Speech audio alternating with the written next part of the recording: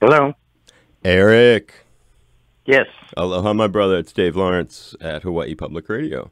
Hello. How you doing? What's going on? So, uh, it's Blue Oyster Cult guitarist, keyboardist, co-lead vocalist Eric Bloom. They're Sunday at the Hawaii Theater, and a thrill after so many years of being familiar with uh, their logo, name, and sound. And a big aloha, mahalo, and welcome, my brother. Thanks for doing this for us. Uh, we'll be very glad to be coming to your town soon. Awesome. Well, we appreciate you coming to our airwaves prior to that. And uh, I could be totally wrong, but Steve, the mystery emailer, who sends us lots of historical stuff about groups like yourself, he leads me to believe it was 1999 that you were last here. Does that sound possibly accurate? Um, you know, I'm the worst person to ask. Okay, but um, but uh, some guys remember everything. I remember something. That's cool. That's uh, not... I I have some great memories of of uh, of playing uh, our 50th state. What are memories? And what comes to mind? Um, well, I remember one time. You know, I used to do a um, uh, ride a motorcycle on stage uh, mm-hmm. for many many years, and I remember one tour we played outside, and it had just rained, and I went to. Um, a motorcycle rental place in the afternoon and got a Honda 750. I couldn't get a Harley. I don't know. I guess they didn't have one. and and uh, got a Honda 750, and uh, we used it as the uh, gags for me to sort of. Uh, we played Born to Be Wild, and I got a Honda 750 and rode it out on stage, and the stage was wet.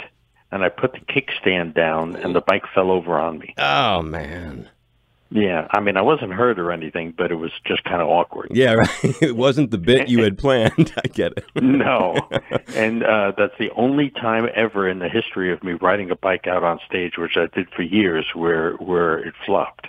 I bet I know so, the year. Uh, that I think that was the 1980 show because I had Vinny Appice from Sabbath on years ago, and he had told me a lot about that Aloha Stadium show. We're talking to bring everyone in on the party that he's referring to. I believe it is August 31st, 1980, and BOC performed at the uh, Summer Blowout Aloha Stadium. It, it, was part of your infamous black and no, blue. No, that was that wasn't Aloha Stadium. This was a um, um, an outdoor show in sort of like a, a, a shell type of place. Ah, they be, it was not that not that big a venue. Okay, maybe it was the Andrews Amphitheater, Manoa campus, back in '79. Were you riding the bike? Yeah, that, yeah, that's that's probably more like it. Okay, it was more of an intimate kind of place. Wow, yeah, you played there too, May 12th and 13th. Back then, tickets were so different. Uh, Eric, seven bucks well, in advance. It was probably six bucks or something. Yeah, it was really something. Uh, and uh, and then that one that I mentioned happened, and uh, then there were some more, and you and you pointed out that uh, years are not your thing. Uh,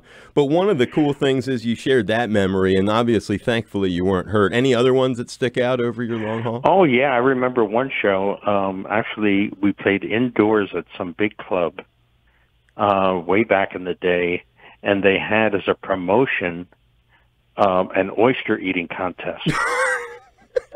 and I and I and I and I it was the it was the night before we played, and we came in a day early. So we went down, and they roped off a VIP area for us to sit in, and they and they had fans come in for an oyster eating contest, and they dyed all the oysters blue for the fans to eat. And that was and here. Some poor some poor soul ate like you know sixty clams or something like that and uh, he I guess to win free tickets or backstage passes or something. And I felt so bad for the kid who won because you know his stomach was sticking out like a basketball yeah. after after eating all these damn clams, and and his face was all blue from eating these the dyed blue right. clams. Yeah, I remember that very well. well, who would forget? And that's a Hawaii memory then that sticks out, sort of unique to any other kind of promotion. I'm imagining they didn't do that elsewhere. Yeah, it was funny. Um, and uh, I remember the club had a. Uh, there was like one main rock club in uh, Honolulu, Honolulu at the time. Gussie L'Amour's was you played in May '99. That could have been what you're talking about because it was a club. You're saying. No, it was way before that. Oh wow. Okay. Well, I mean, who... yeah, it was it was before '85. Okay. Wow. Okay. Well, Steve's stuff just has those big uh, venues. And uh, and thinking about the one that I mentioned again, that's probably the one that had your biggest audience in in the state, or maybe the one that came next after that. But take us back to that 1981, if you will, just because for, I think for a lot of music people, that tour because it ended up being a movie and stuff might have. Uh, well, yeah. Well, if Vinny mentioned it, that was definitely the Black and Blue tour. Mm-hmm. Yep. Uh, it was BOC and Black Sabbath. Yep. And and what do you? Yeah, that was that was it. Uh, you know, we played that all over the place. Uh, we played many shows together, and uh, Vinny is uh, a, a friend, and uh, um, that was, of course, with uh, Ronnie Dio uh, fronting Black Sabbath at that time.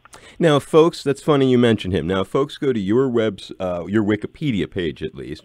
According to your Wikipedia page, it says that you would list as major influences, it calls, both James Brown and Ronnie James Dio. And thinking that he was on that bill, like you were saying, when you played at Aloha Stadium. Explain when Ronnie first entered your life and, and any well, cool that, stories. That's a too long a story to tell, but I'll give you like a brief thing.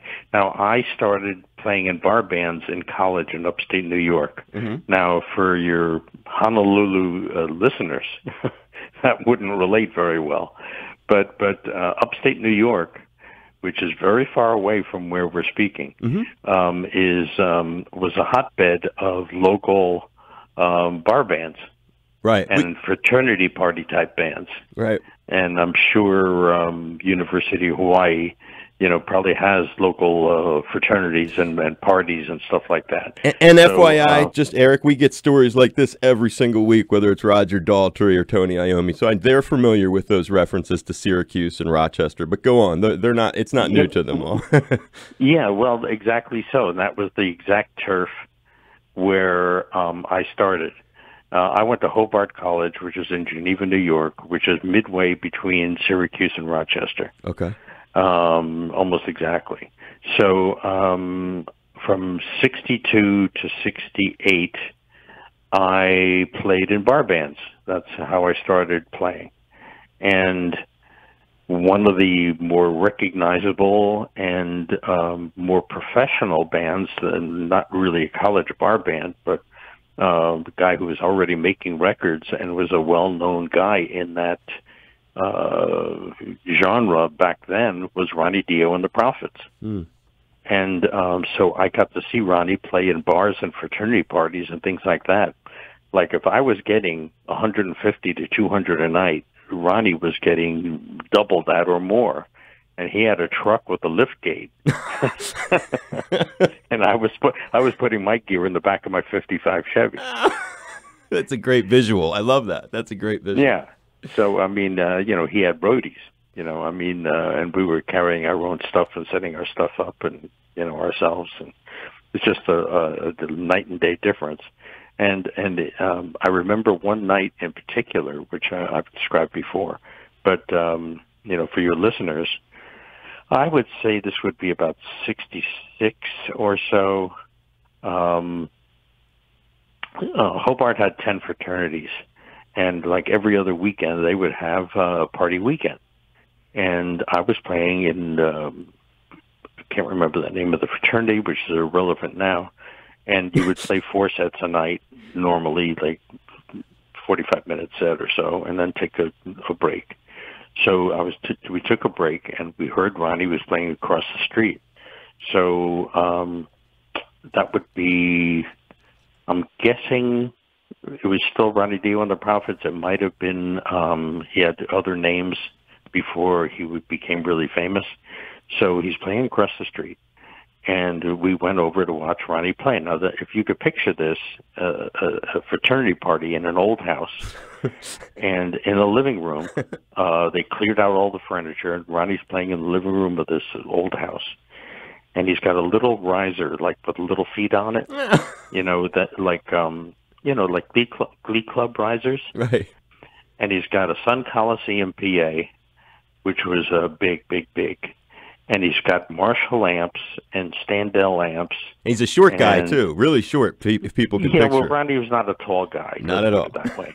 And um, the other guy, um, uh, the reason it was called Elf and the Electric Elves and other names over the over the years was because him and uh, David Feinstein, who was the other guy up front with him, which was later in a band called the Rods, um, but they were both not tall, and they were the two front guys, and uh, that, that's where those other names came from. Interesting. So um, they were short guys, and um, it later became um, a sidebar to the story. They later became Rainbow but the, that's another story altogether. Yep. But but um, so and I walked in, and what is Ronnie playing? He's playing the he's, pl- he's playing the beginning of Tommy. Wow.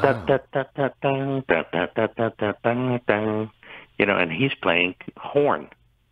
Ronnie is the bass player in the band, which most people don't know. Ronnie played bass, and he's singing lead and he's playing a horn, and then switch from the horn part to playing bass, and he's playing the whole first side of Tommy. Oh my lord! I'm going, I'm get out of here, you know. I mean, we're playing, you know, it was so night and day better than anything I had seen. You know, like I was just playing regular tunes across the street, right? You know, and uh, with with you know three hundred dollar amps, and he's got like you know ten thousand dollars worth of gear in this fraternity party you know, and you know he's pretty inspirational. You know, plus he's got band clothes on. You know, we're just playing in whatever we could, you know, find in in a trunk. But know? he's got that multifaceted talent. You just told that story. What well, a great first of all, image. his voice. You know, I mean, there's no nobody has to tell anybody about what a great singer Ronnie was, and he was just fantastic back then. Right, and you didn't No. even, and that's a great closer to it because you, you know, you're talking about all this instrumentation no one would expect from him: bass, playing a horn, and uh, yeah, that's a well, great by picture. the time he was in Black Sabbath, you know, he he wasn't playing; he was just fronting the band. right, and uh, and most people, you know, of course, then he went on to you know be a solo artist, and and um, you know was not a, a didn't play, but he was a really good musician, and uh, most people didn't know that. and a big influence um, on you too. Oh yeah, absolutely. He, I'm sure he inspired a lot of people, but I knew him way back when. You know, uh, I saw Ronnie Dio and the Prophets. Then it, it evolved into the psychedelic era. Be, the band changed its name to the Electric Elves, and then it became um, uh, Elf. And then when uh, they opened for um, for Deep Purple, um, uh, Ronnie uh, joined forces with Ritchie Blackmore and became uh, Rainbow. Right. Now, when did you first get to know him yourself? I guess what's a personal story that you would hold near and dear that people would find touching that you knew uh, about your own relationship? Perhaps the first time you met him, and then the the, the, the most uh, endearing part of it. Well, it's funny because Ronnie didn't like to really schmooze about his upstate New York, uh, you know, upbringing and stuff. okay. um, um, but uh, we knew each other back then. As I wouldn't say we were competitors because he was like, you know, much. He, was a local celebrity in upstate New York.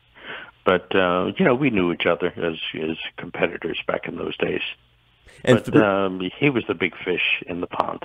and what about later though? Like by the time you guys played Aloha Stadium, what was your relationship with him like? Uh, how you doing? Okay. You know, Nothing. just uh, say hi and you know talk about uh, a little bit about those upstate days. With- But but uh, you know he was friendly.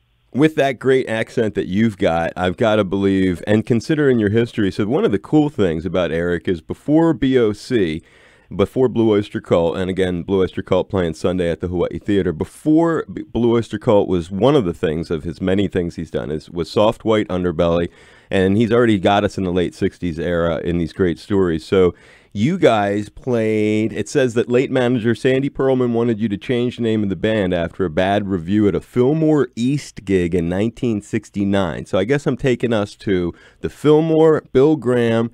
Obviously, Bill would present that same tour that came to Aloha Stadium. He'd present it at the Oakland Stadium uh, with Sabbath and yourselves. But over your life, how's how, any cool Bill Graham stories come to mind that I'm imagining you may have had a, a, a run in or two with him? Well, Bill was a wonderful man, um, and also probably the best rock promoter that's ever lived. Um, and uh, came to uh, you know a very unfortunate end. Um, you know, he came to America as a refugee, and and uh, just through dint of uh, of his own uh, spirit and energy, you know, became the best promoter that the music business has ever seen. Um, he's one of those guys that was a self-starter and moved to the west coast of the United States and started his own business. And um, however, you know, when we first started, uh, first album came out in '72. You know, I, you know, I don't think he knew much about us because he he really promoted that West Coast sound. Mm-hmm. You know, your Airplane and your, uh, you know, Quicksilver. You know, and all those kind of bands. And we were an East Coast band, and and um, it took a while for us to break into that West Coast uh, area, and he sort of had it all locked up. So we didn't play that area very much early on. So um, it took a while, uh, maybe till our second or third album, before we started getting good shows in uh, the Northern California, which is where he was the main promoter. So when you did the soft uh, white underbelly at Fillmore East in '69, no interaction with Bill. You're saying at all? That was just uh, a... Bill was not there. Okay. Uh, he had um, we played Fillmore East on July 3rd, 1969, wow. and that was my first show. Wow! Oh my lord! In the yeah. In the, and who else was on the? Was it a? I'm imagining. It was people? Jeff Beck. the Jeff Beck group with Rod Stewart was the lead singer, and uh, Jethro Tull was the middle act, and we were the opening act. And that's your first concert ever, Eric. Yeah, we played a, like a private party before that. okay. But but, but uh, that was my first gig. High fives, brother. That's a pretty impressive one. And and Jeff Beck, and as a guitar player, was he already somebody that you admired? And oh, what are you kidding? I mean, it was pretty frightening. I bet. Um, I mean, we never played on a stage like that, and never had, um, you know. Uh, I went up to that mic. I, I'd gone to Fillmore as a fan right. you know, many times yeah, right. and seen many other acts, and and to actually walk up to that mic and go one two three testing one two three, you know, it was frightening. That's a good one. And did you over your life because you've had this long career since then? Did you run into Jeff ever uh, again over your life and play? Because we get a lot of great Jeff Beck stories on the show. Oh yeah, yeah. I I, I met him, and you know, I'm not worthy, you know, a few times, you know, but. uh um, haven't really played with. Them. I think we played with them a couple of times over the years, but uh, oh, Beck Bogert and Appice, yeah, right, right yeah. Uh, we did we did a whole tour with them. But um, you know, he's he's not not super outgoing. No, but, no, he's uh, not. he's friendly enough. Yeah, there you go.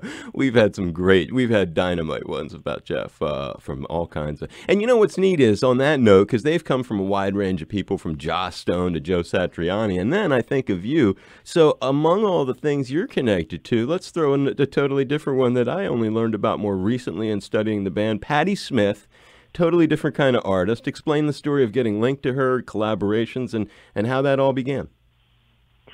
Well, my goodness. Well, Sandy introduced us to Patti, I would say, before we even had a record contract. So that would be, I would say, 69 or 70. Mm-hmm. And um, I think he was sweet on her. okay. Uh, she was dating um, this is like before we knew her. She was dating. Um, I'm having a senior moment now. it's okay. Um, he was an actor. He just passed away a couple of years ago. Uh, um, hmm. Want to stop stop tape a second? You can look. Go for it. No, way. never. Tape is nothing. We're we're we're not even on the air, so you can take a second. You can look at something. You can think. We can. Um. Oh, geez. He was a playwright, and he, he was in the movie The Good Stuff, The Right Stuff. The right. Oh. Uh, um. Oh, uh, the right stuff, and he passed away more recently. Yeah, um, he was like a real macho kind of guy. Yeah, not, he, he, was a he was a playwright, and he and an actor he played, though. He was an actor. Not Patrick Swayze. No, no, no. Okay. Uh, um, well, it doesn't matter. We can, as long, unless he's a huge part of it, we can go over. This happens all the time. Well, it's an interesting story. Oh wait, well, I mean, you can do the story. Do we need him to? Uh, do you need me to look him up? I can Google it. What will what will be the Google that'll break it? Look up the movie The Right Stuff. He's one of the main actors. Cool, I got you. Hang tight. I'm blowing this thing up for us right now, and uh, Boop-a-doop-a-doo. He played that guy who was the experimental pilot in the right stuff. Okay, maybe I'll just use my phone since the uh, computer. Oh, no, okay, it's open. The right stuff. So we just need its like its Wikipedia page will do it. The right stuff. 1983 film. Uh, Wikipedia. I'll run you through the cast, and that'll get us uh, boop a doop a doo. Okay. Um, right stuff. Well, that would be Sam Shepard, Fred Ward. Sam Shepard. Sam Shepard. Got it. Okay, so Sam Sam yeah. is our guy. So let's pick up the story again. Cool. So Sam uh, Shepard. Okay, so Patti had been dating Sam Shepard. Wow. And um, this is the late sixties.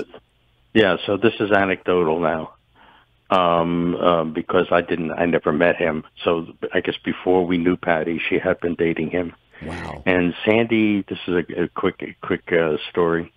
Um, uh, Sandy liked um, foreign cars, so he had a um, an Alfa Romeo. Oh wow! And uh, uh, a four seater. Um, uh, Alfa, an Alfa uh, Veloce GT, as I recall. Wow. And um, think about Sandy, though. Even though he liked those things, he was not a great driver. and, and the more he talked, uh, the slower he'd drive. it was almost like he, you know, he couldn't like rub his belly and pat his head at the same time. now he he was a good guy, and very bright and very interesting, and did a lot for my career and a lot of other people's careers but not a good driver. so um, apparently, the what the anecdote was that he's driving Patti and Sam somewhere up First Avenue in Manhattan, and Sam, who is the you know uh, this actor, playwright, you know, and kind of a macho kind of guy, didn't like the way Sandy was driving. he made him get out of his own car and took over. Oh, didn't like the way he was driving. you know, pull over. and he, you know, made Sandy stop driving and drove the car. That's a good one. now, now uh, on with the Patti. Well, It was Sam, uh, Sam, Patti, and Sandy in the car. Right. So I guess after she stopped dating him, uh, Sandy actually told her he's the one that told her she should start a singing career. She didn't think she could sing, and um, wow that's when she, Sandy thought that she should maybe work with us and that we should back her. Oh my. Which never really came to fruition. Right. Because we got our own deal. But there was some talk about that back in the day. What an unusual combo for many fans and their perception. Well, it may never have worked. Right. But it was it was a, a thought back before we had a record deal. And were you guys like buds too, or was it all professional stuff? Well, yeah. Well, she was dating our keyboard player, Alan. Okay. Wow. So there was a bit of a connection. And when we got our um, audition with Clive Davis, who was the president of Columbia Records, you know, she was in the uh, little small audience of about 10 uh, when we did the audition. And I was just gonna, I mean, you're like almost kind of spooky, like you're looking at my paper or something. But Clive is a cat we get a lot of great stories about, whether it's Judy. I mean, so many people tell amazing Clive, and he, you just kind of, you know, bursted a little bit. Explain how that happened, what you just said. How did you get to Clive and get that? And tell us about Clive in person, like what it was like.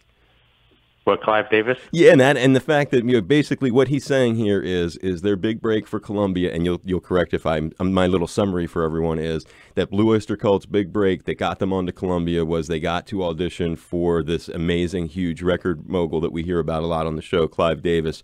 And can you tell us that story and how that all came about?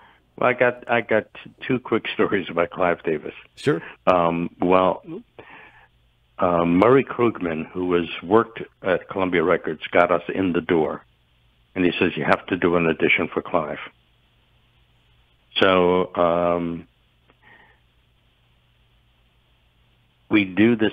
He, he didn't want to come to a club. Uh, he wanted us to audition in the Columbia building, oh. which was on 53rd Street and 6th Avenue in Manhattan. It, it was like a glossy, you know, all glass dark, sort of a tinted black glass building in Manhattan that everybody had nicknamed Black Rock. Right.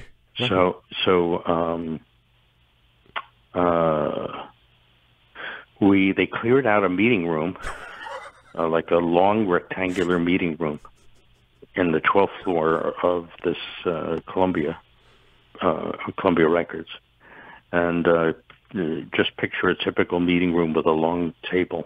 Like a conference. They took the table out. They okay. took the chairs out, and um, a long rectangular room, and we set up along the short wall facing the other short wall. And uh, this is a room, a meeting room with like uh, fluorescent lights in the ceiling. a lot of and atmosphere. We, you know, so we set up uh, like a, a small setup with smaller amps against one wall, and then against the other wall were about ten chairs facing us. You know, about I don't know, twenty five feet away. Right. And um, they turned, they dimmed the lights. You know, just flipped a few switches, so we were sort of in uh, in the dark a little bit. And um, uh, maybe ten chairs facing us, and um, Harry Nilsson was there, um, who's uh, who's pretty famous and popular at that time. Yeah, and he just happened to be visiting that day in the building. Uh, Bobby Colomby was there. He was the um, drummer in Blood, Sweat, and Tears. Patti Smith, who is uh, Alan's girlfriend, and uh, Sandy Pearlman, our manager, and um, other people from uh, um, Columbia, the record, the record department, the A and R department of Columbia Records, like three or four guys, Clive Davis, and uh, that was it. You know, eight or nine people, and they faced us, and then we walked in the room, sat down at uh, our gear, and stood up actually, and, and played five songs. Now, about the third song, Harry Nilsson got up and left the room. so I figured, you know, I mean, I'm singing, uh, you know, I think I I sang every song, and um, I figured, oh, we must suck. you know, Nilsson just left the room. So, uh, but about the halfway through the fourth song, he came back in and sat down. So uh, when the audition was over, everybody left. It was milling around, and Nilsson, uh, I went over to him because uh, you know I did a I'm not worthy kind of thing with him. Yeah. And um, I said, why'd you why'd you leave the room? He says, I had to get a cigarette. so anyway, uh, Clive, um, Sandy walks back in and says, Clive likes you and he wants to sign you. So that was our big audition with Clive Davis. Now, the second story, let's move forward 40 plus years. Wow. Uh, the there was um, his induction into the Long Island Music Hall of Fame, which was maybe five years ago. Okay. So it was recent, you know, in the uh, like uh, 2019 or something like that. Okay. Before COVID, and um, it's on Long Island uh, in a, a venue of some kind. I can't remember where it was. And I went because um, Blue Oyster Cult is already a member of the Long Island Rock, Rock and Roll Hall of Fame. Sure. So they invited me to come, and Clive was being inducted along with several other uh, people associated with Long Island. And um, so Clive was sitting down having dinner, and I walked over to him and I told him who I was, and he didn't. Not only didn't he know who I was, he didn't remember doing the audition. wow. Says a lot about a busy career he had, huh? Yeah, I mean, it was just like went right over his head. Wow, that says a lot about. That's what I mean. This guy to think that he didn't remember that, the kind of things. Well, uh, he was sitting with Dionne Warwick and right. a few other people, so it, it must have been you know, like. I mean, he he was polite. Sure. I mean, it wasn't like he blew me off or anything, right. but also he's probably uh, very senior. Sure, that's so, uh, There's that too, is what you're saying. Yeah. So, um, well, what a cool. You know that is a heavy story, and we've had Dionne on the show numerous times and hung hung with her in the dressing room, and maybe even Clive was one of the ones that uh, that she had. But that's great to hear uh, how that went, and the just the the nature of having to do your first audition with people like that, and of course that spins off of of the Patti Smith Association, which I think a lot of people who listen to Blue Oyster Cult would probably, especially they know your songs by the radio they wouldn't be associating you you with Patti. Another cool thing that people might associate you with, though, that's a great story. I think that connects to many many folks, and and uh, I bet you talk about it a bunch. When did you first become aware of the Saturday Night Live More Cowbell skit and talk a little bit about that entering your life, what it means to be kind of immortalized in such a, a, a way? Well, I became aware of it because I saw it live. Talk about it. The whole thing. How the whole story. Uh, I was sitting home, and uh, I had a rare Saturday night off, which is pretty rare for a, a musician. And um, there I am watching SNL, and they start off, you know, uh, behind the music, Blue Oyster Cult. I go, what? You know, and um, I was pretty shocking to see what are they going to do to us, you know and um, they, you know they never told anybody they were doing that to us. It was a total su- you know, surprise. Complete, completely. Uh, you know, we had no idea. And then there's uh, Will Ferrell, obviously playing me, um, um, with a shirt that's too small for him, with his stomach sticking out. I said, "Oh, that's pretty funny." And and uh, of course, it didn't. They, they got a lot of things wrong in that skit. You know that that it's irrelevant what they got wrong. but but um, the, one of the main things they got wrong was uh, Bruce Dickinson, which is kind of funny. You know, they said the guy producing the the the band is Bruce Dickinson. There is a Bruce Dickinson, and what they must have done is they sent a runner probably out. You know, we need a copy of Don't Fear the Reaper by Blue Oyster Cult. Go to a record store and buy it. So he came out, it probably got a greatest hits, you know, and on the greatest hits, it's produced by Bruce Dickinson, who's a real person. So he is a remix engineer that works for Sony Records. Sony Records is what Columbia Records is now. not the Iron Maiden singer, Bruce Dickinson. Obviously. No, not that guy. um, so there is a real Bruce Dickinson, but he's not the producer of Don't Fear the Reaper. okay. um, he is the guy who does the you know remastering you know that guy right kind right. of guy. Sure. So it says on that record produced by bruce dickinson uh who is probably you know did the remastering you know 20 years ago or 15 years ago whichever version they they bought at the record store. So he had a free ride so in the skit. That's kind of funny. Yeah. Then right in the middle of it you know um when the cowbell gets too loud and he gets annoyed, um, he looks over the guy dressed as Buck, and he says, "You really mean that, Eric?" so they don't know who's who, right? Which is kind of funny. but I, you know, I can't really blame them for any any of that. They probably have no idea. Sure. But I think the guy playing Horatio Sanz, the Horatio Sanz playing Joe Bouchard, is, is kind of steals it. He's playing bass he, he must have watched the video and he nails Joe Bouchard, which is kind of funny. Oh boy! And the whole more. And, but Jimmy Fallon actually, but he's cracking up so bad through the whole thing. You know, it's it. That, I think some of the secrets of that is that the you know the the cast members of SNL are cracking up through the whole thing. That's what makes it so funny just too funny. And then it becomes this cultural thing, more cowbell that you just. Uh... Well, yeah, I think I think um, you can actually go online and get the see the actual script. Yep. And they're they're they're ad libbing, you know, over the original script so much, and I think it's um, it's mostly uh, Christopher Walken he uh, ad libbed a lot of lines, and I think the, the, he's killing those guys, the SNL guys, and and they they don't know what to make of it, and they're just you know they're they're I think they're pissing in their pants, so they they they're just laughing their asses off, and that's all that squirming and laughing is what, really what makes like uh, you know you're going to be wearing gold diapers, what? You know? That, that I think they're it too funny for them, and they're just they just can't they can't stand it. So it's a total shock. You're watching it, and it was just like, what? Did you call somebody in the band and go, "You're not gonna"? Are you watching SNL? What was your? Uh...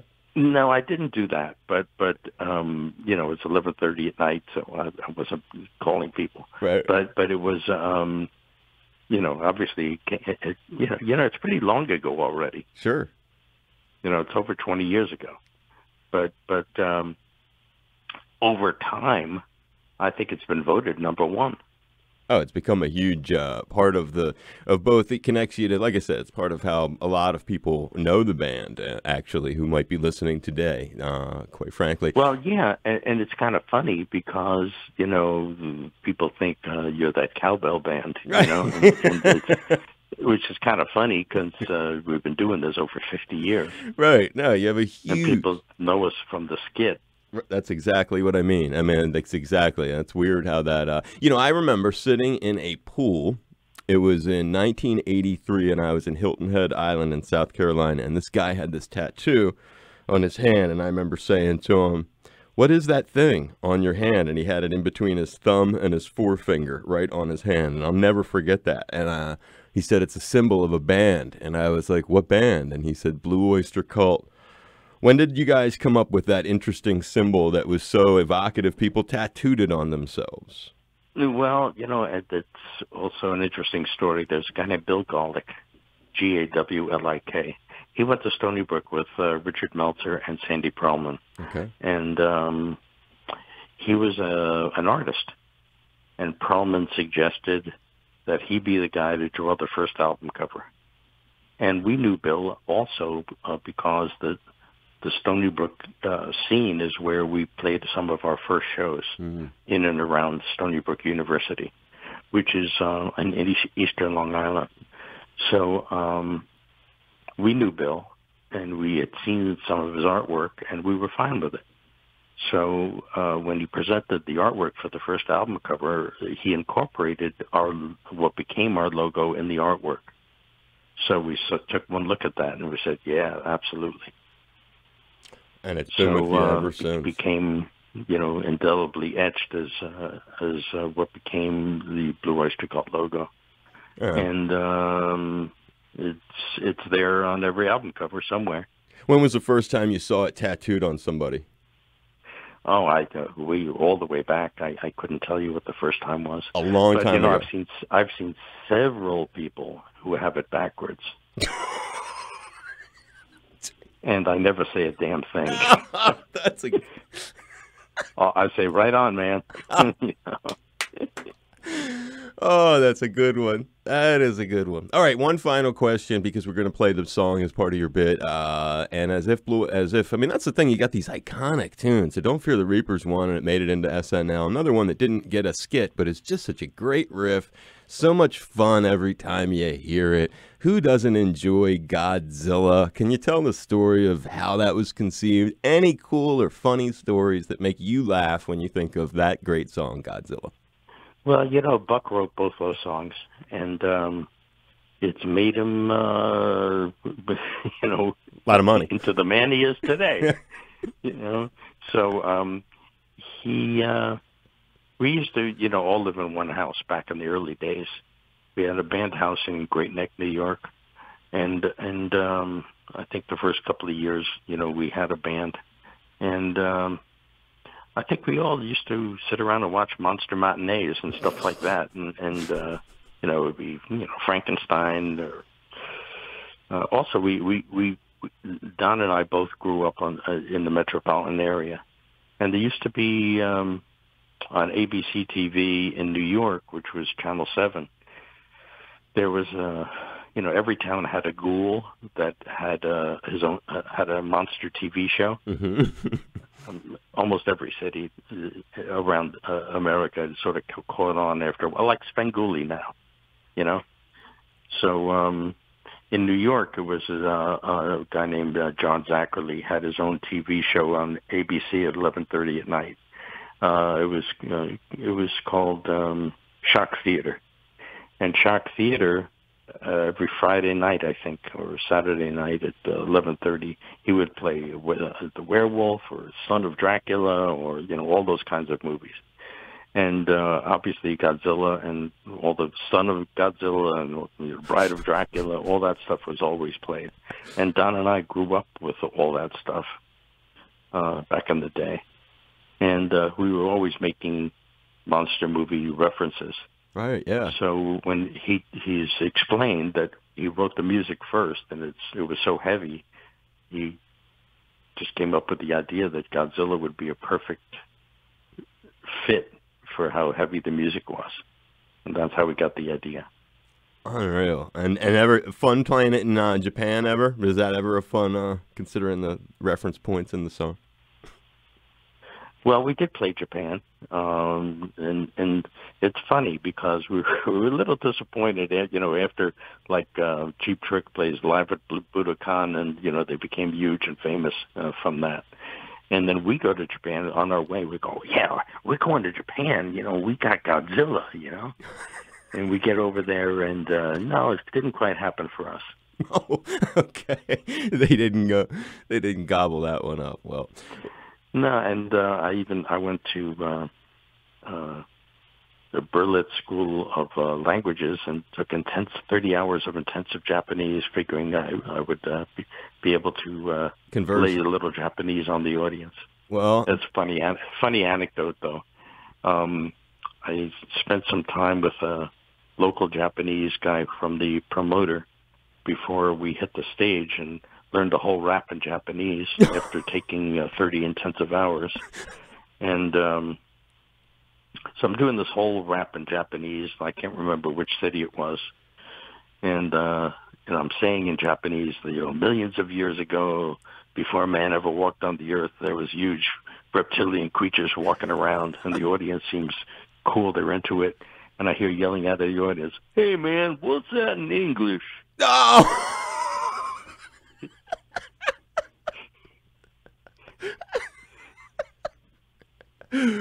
Uh, you're just like they don't get it. What can you do?